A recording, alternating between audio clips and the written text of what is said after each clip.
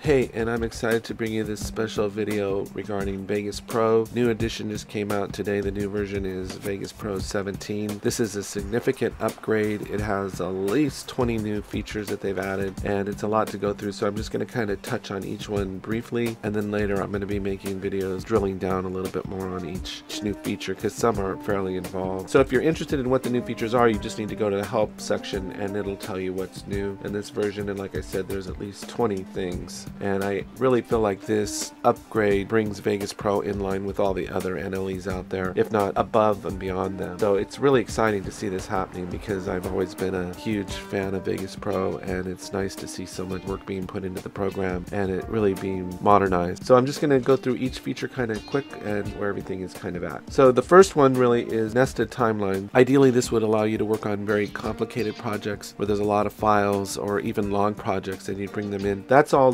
located down here, the buttons for this to create a nested timeline. This is actually fairly, can get fairly tricky, so you need to probably read up a little bit on it before you get started with nested timelines. I've had issues with nested timelines in the past, and in fact, I'll, the next video I do is going to be on nested timelines. But this is allows you to drill down into self-contained veg files and edit them without having to open up a new instance of Vegas. It used to be that every time you wanted to put a bunch of veg files on timeline, you'd have to open up a new instance of Vegas that's not true anymore. Now you can edit within the same instance of Vegas. But there's a lot to nested timelines. I really think almost for more advanced users, but it's for people that are really using Vegas for complicated or long projects. I think for most people, they, I don't know how much they would actually use nested timeline. Now the next feature is huge in my mind, and this is that they actually added a, a unified color grading window, and that's located down here. Technically, this is called the transport and editing toolbar down here, all this stuff down here. Right there on that icon, if you click it, now you've got this very Resolve-ish kind of workflow that you can use. So this is fantastic. This is what everybody has, and now Vegas has it all in one place. And then while you're on it, you can also, if you create a LUT or a look, can now export it as well. This is fantastic. If you're familiar with editing in Resolve, then you're going to really really love this and I am really looking forward to using this feature as well. And then to exit out of this, you just go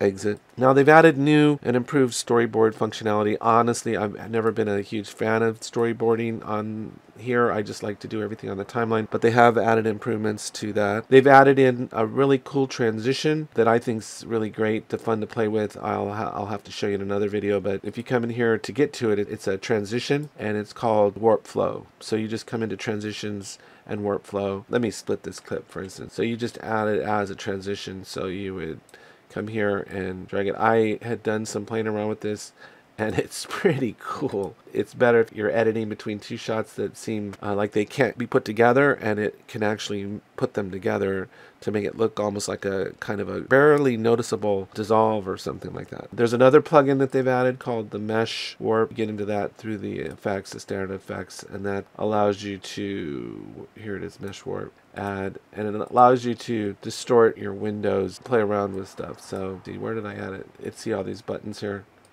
and then you can you can start playing distorting your build however you want to with this effect I really have to look at this a little bit more but that seems like a pretty cool effect if you're wanting to kind of reorientate your image for some reason. Another plugin they added is for, there's a couple actually all at once, so I should just go in those all at once. They've added slow motion, improved slow motion, so that's here now. They've added lens correction, which is there now, and then they've improved the stabilizer function right here too.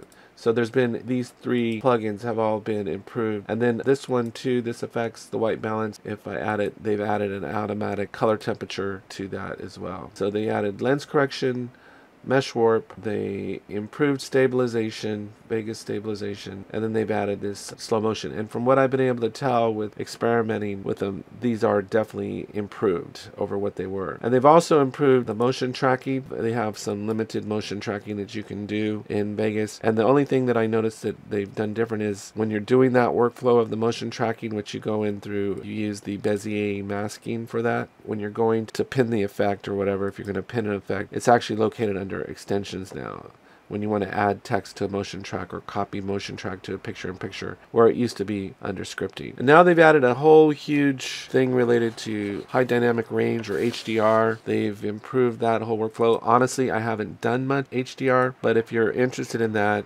you would just go into the help section we can go into the help section and you go to the index and if you go into HDR you can just set up follow these instructions for setting it up and then you edit in it but you're going to need a monitor a reference monitor that is capable of viewing HDR footage. So I'm honestly haven't gotten into this HDR thing yet, but it does seem like this is a trend and things are definitely seem like they're moving in that direction. So now Vegas has some tools to be able to allow you to edit in HDR video. They've added uh, support for 8K, and so there's some new formats that they've added: experimental MKV support, 10-bit intermediate format, ProRes, NVIC, and hardware decoding. And then they've done some uh, interface improvements which are which are good. One of those related to that is if you're doing media text using like the legacy text, one of the features is they've deprecated some of this. So what you've got to do is if you go into options and preferences, now there's a tab just for deprecated features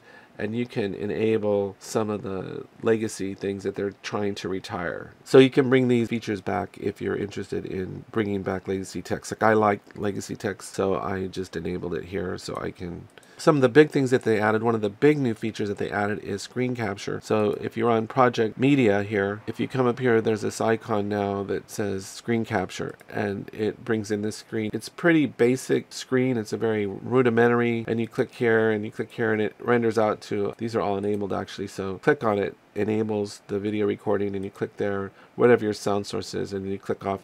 And then it automatically, when you you start recording, like if you started recording there and you stop it, it automatically renders to a capture folder that installed on your hard drive. So it's pretty basic, but I like them including this in the video editing software. And hopefully now that they have something like this, we'll actually start seeing even more tutorials on how to use Vegas Pro. The screen capture I think is absolutely fantastic feature. Oh look, I got a little bit of an error there or message. Which leads me to a point that I'd like to make is this is such a huge advance for Vegas that I would imagine that the first build or two is going to have some bugs. So don't get discouraged. Magix has been really good about addressing bugs. If you have a bug, you find a bug, just report it to them and they'll fix it on the next build. They usually release three or four builds per year, each one addressing the bugs that they found so far. So I'd imagine since there are so many new features added onto this that there's bound to be some bugs involved on the builds. There's just no way for someone to test every possibility. So don't get discouraged if you get the 17 and you get a, a bug or a crash. I, I think that expected to happen on something with this much advances in it. The other thing is apparently there was an issue with the uh, motion tracking and that has all been resolved. So the, the motion tracking is fixed now and it, it tracks correctly. It used to be off, I think, by a frame or two. Now that's all been fixed and it's improved. They have some more sophisticated tracking algorithms in there now. So now the motion tracking is improved.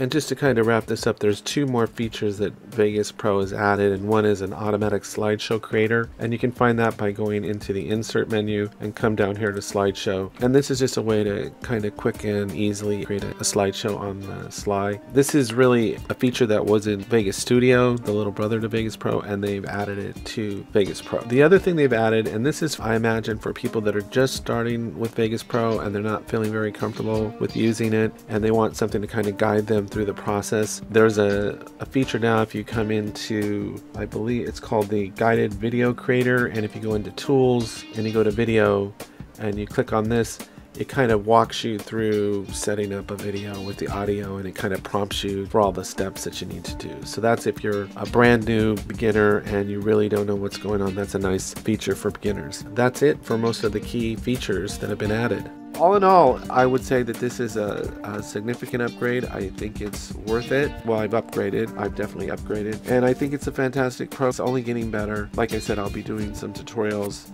later on these individual features that they've added like the nesting and the HDR color grading. I have to get up to speed on some of that stuff myself. So overall, I think it's a great upgrade. I definitely think it's worth getting.